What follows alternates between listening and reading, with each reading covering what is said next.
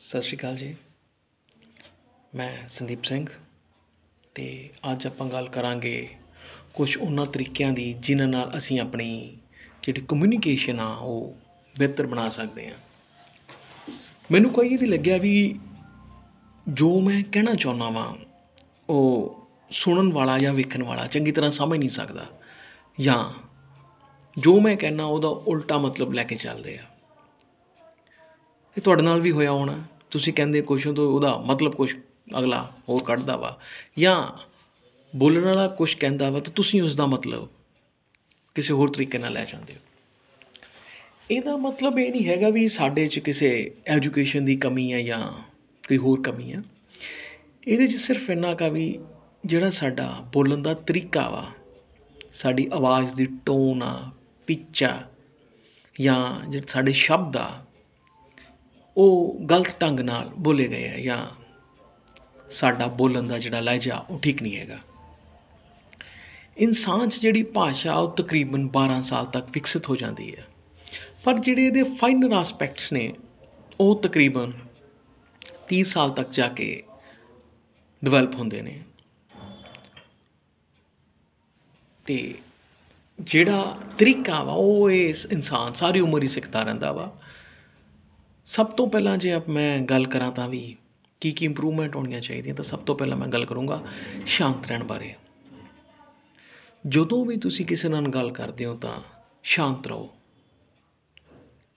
ਜਦੋਂ ਤੁਸੀਂ ਸ਼ਾਂਤ ਹੋ ਤਾਂ ਇਹਦਾ ਮਤਲਬ ਆ ਤੁਸੀਂ ਸਟ੍ਰੈਸ ਫਰੀ ਹੋ। ਤੁਹਾਡੇ ਚਿਹਰੇ ਤੇ ਸਕੂਨ ਆ, ਤੁਹਾਡੇ ਚਿਹਰੇ ਤੇ ਕੋਈ ਗੁੱਸਾ ਨਹੀਂ ਹੈਗਾ ਸਟ੍ਰੈਸ ਨਹੀਂ ਹੈਗਾ।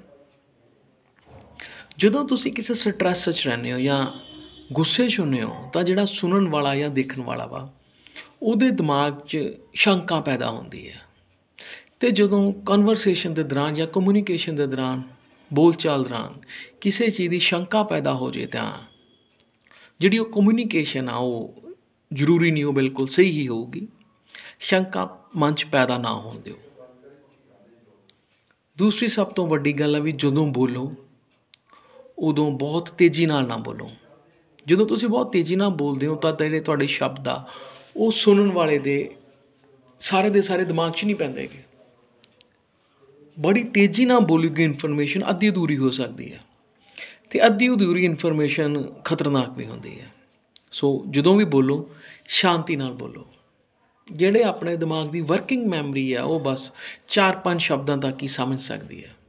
ਸੋ ਆਪਣੇ ਜਿਹੜੇ ਵਰਡਸ ਆ, ਉਹਨਾਂ ਨੂੰ ਸੀਮਤ ਰੱਖੋ।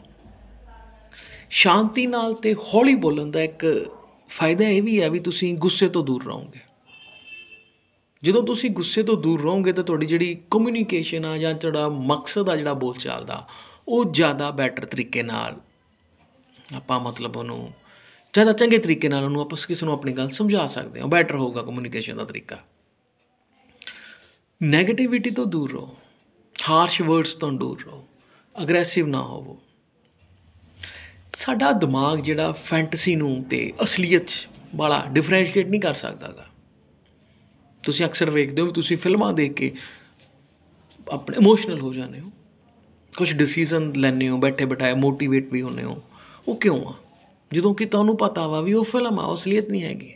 ਪਰ ਸਾਡੇ ਦਿਮਾਗ 'ਚ ਇਹ ਗੱਲ ਨਹੀਂ ਹੈਗੀ ਵੀ ਅਸੀਂ ਉਹ ਜਿਹੜਾ ਜਿਹੜਾ ਦਿਮਾਗ ਦੱਸ ਸਕੇ ਵੀ ਅਸਲੀਅਤ ਆ ਜਾਂ ਇਹ ਕੋਈ ਫੈਂਟਸੀ ਆ। ਸੋ ਜਦੋਂ ਵੀ ਕੋਈ ਬੋਲਣ ਲੱਗੇ, ਜਦੋਂ ਆਪਾਂ ਕੋਈ ਸ਼ਬਦ ਹਾਰ ਸ਼ਬਦ ਵਰਤਦੇ ਆ ਤਾਂ ਜਿਹੜਾ ਸੁਣਨ ਵਾਲੇ ਦਾ ਦਿਮਾਗ ਹੁੰਦਾ, ਉਹਨਾਂ ਨੂੰ ਇਹ ਖਤਰਾ ਲੱਗਦਾ ਥ੍ਰੈਟ ਲੱਗਦੀ ਹੈ। ਤੇ ਜਦੋਂ ਕਿਸੇ ਨੂੰ ਥ੍ਰੈਟ ਲੱਗਦੀ ਆ ਕੋਈ ਖਤਰਾ ਲੱਗਦਾ ਵਾ, ਇਹਦਾ ਮਤਲਬ ਸਾਫ਼ ਆ ਵੀ ਜਿਹੜਾ ਵਿਸ਼ਵਾਸ ਆ, ਉਹ ਘਟ ਜਾਂਦਾ ਵਾ। ਇੱਕ ਬੜੀ ਹੋਰ ਕਾਮਨ ਜੀ ਗੱਲ ਆ ਵੀ ਅਸੀਂ ਹਮੇਸ਼ਾ ਆਪਣੇ ਆਪ ਨਾਲ ਲਗਾਤਾਰ ਵਾਰਤਾਲਾਪ ਕਰਦੇ ਰਹਿੰਦੇ ਸਾਡੀ ਜਿਹੜੀ ਅੰਦਰੂਨੀ ਆਵਾਜ਼ ਆ, ਸਾਡੀ ਇਨਰ ਵੌਇਸ ਆ, ਉਹ ਹਮੇਸ਼ਾ ਹੀ ਸਾਡੇ ਨਾਲ ਗੱਲਬਾਤ ਕਰਦੀ ਰਹਿੰਦੀ ਹੈ। ਤੁਸੀਂ ਵਿਹਲੇ ਨਹੀਂ ਬੈਠ ਸਕਦੇ, ਤੁਸੀਂ ਜੇ ਬੈਠੇ ਵੀ ਆਰਾਮ ਨਾਲ, ਤੁਹਾਡਾ ਜਿਹੜਾ ਦਿਮਾਗ ਆ, ਤੁਹਾਡੀ ਜਿਹੜੀ ਆਵਾਜ਼ ਆ, ਤੁਹਾਡੇ ਨਾਲ ਗੱਲਾਂ ਪਤਾ ਕਰਦੇ ਰਹੋਗੇ ਜਿੱਥੋਂ ਤੱਕ ਹੋ ਸਕੇ ਇਸ ਆਵਾਜ਼ ਨੂੰ ਸ਼ਾਂਤ ਰੱਖੋ ਤੇ ਇਸ ਨੂੰ ਪੋਜ਼ਿਟਿਵ ਰੱਖੋ। ਜਦੋਂ ਤੁਸੀਂ ਇਸ ਆਵਾਜ਼ ਨੂੰ ਪੋਜ਼ਿਟਿਵ ਰੱਖੋਗੇ, ਤਾਂ ਜਿਹੜੀ ਤੁਹਾਡੀ ਕਮਿਊਨੀਕੇਸ਼ਨ ਦੀ ਆਵਾਜ਼ ਆ, ਸ਼ਬਦ ਨੇ ਜਿਹੜੇ, ਉਹ ਵੀ ਪੋਜ਼ਿਟਿਵ ਹੋਣਗੇ। ਤੇ ਕਿਸੇ ਵੀ ਗੱਲ 'ਚ ਪੋਜ਼ਿਟਿਵਿਟੀ ਲਿਆਉਣੀ ਬਹੁਤ ਜ਼ਰੂਰੀ ਹੈ ਮੈਨੂੰ ਨਹੀਂ ਲੱਗਦਾ ਅੱਜ ਤੱਕ ਵੀ ਇੱਕ ਗੁੱਸੇ ਨਾਲ ਜਾਂ ਕਿਸੇ ਅਗਰੈਸਿਵਨੈਸ ਨਾਲ ਜਿਹੜੇ ਕੋਈ ਕਹੇ ਗਏ ਸ਼ਬਦ ਆ, ਉਹਨਾਂ ਨੇ ਕੋਈ ਆਪਣਾ ਫਾਇਦਾ ਕੀਤਾ ਹੋਊਗਾ।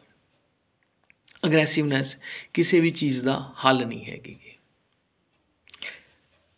ਉਸ ਦੇ ਨਾਲ ਤੁਸੀਂ ਸਭ ਤੋਂ ਜਿਹੜੀ ਇੱਕ ਹੋਰ ਇੰਪੋਰਟੈਂਟ ਗੱਲ ਆਪਣੇ ਦਿਮਾਗ 'ਚ ਰੱਖਣੀ ਉਹ ਹੈਗੀ ਵੀ ਤੁਹਾਡਾ ਜਿਹੜਾ ਫੇਸ਼ੀਅਲ ਐਕਸਪ੍ਰੈਸ਼ਨਸ ਨੇ ਜਾਂ ਜਿਹੜੀ ਆਵਾਜ਼ ਆ, ਆਵਾਜ਼ ਦੀ ਜਿਹੜੀ ਧੁਨੀ ਆ ਪਿਚ ਆ, ਉਹਨੂੰ ਧਿਆਨ ਰੱਖਣਾ ਵਾ। ਮੈਨੂੰ ਇੱਕ ਬੜੀ ਆਮਿਰ ਖਾਨ ਦੀ ਇੱਕ ਪਿਕਚਰ ਆ ਪੀਕੇ ਉਹਦੇ ਚੋਂ ਜਿਸ ਤਰੀਕੇ ਨਾਲ ਕਹਿੰਦਾ ਵੀ, ਅੱਛਾ, ਹੂੰ, ਉਹ ਜਿਹੜੀਆਂ ਚੀਜ਼ਾਂ ਬੜੀ ਉਹਨੇ ਇੱਕ ਚੰਗੇ ਵਧੀਆ ਸਟਾਈਲ ਨਾਲ ਸਮਝਾਈਆਂ ਵੀ ਆ ਵੀ ਇੱਕ ਇੱਕ ਜਿਹੜੀ ਆਵਾਜ਼ ਹੀ ਆ, ਉਹ ਕੀ ਕੁਝ ਕਰ ਸਕਦੀ ਆ।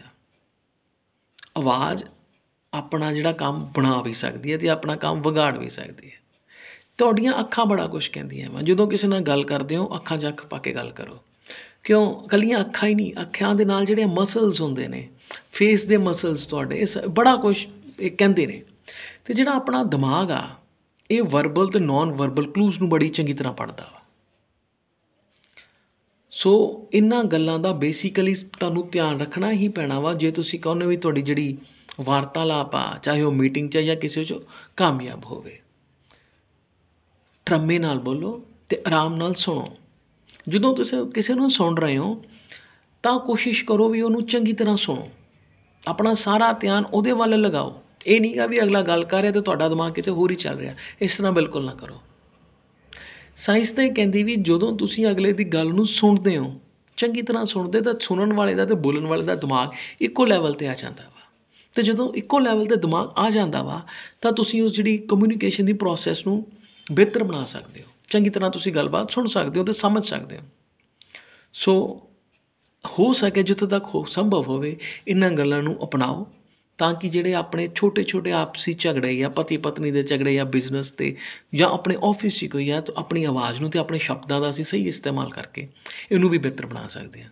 ਸੋ ਉਮੀਦ ਕਰਦਾ ਹਾਂ ਵੀ ਮੈਂ ਵੀ ਤੁਹਾਡੇ ਤੋਂ ਕੁਝ ਸਿੱਖੂੰਗਾ ਤਾਂ ਤੁਸੀਂ ਵੀ ਮੇਰੇ ਤੋਂ ਕੁਝ ਸਿੱਖੋਗੇ। ਸੋ ਪਲੀਜ਼ ਕਮੈਂਟ ਜ਼ਰੂਰ ਕਰਿਓ ਤਾਂ ਕਿ ਮੈਂ ਵੀ ਆਪਣੇ ਆਪ ਨੂੰ ਸੁਧਾਰ ਸਕਾਂ। So thanks a lot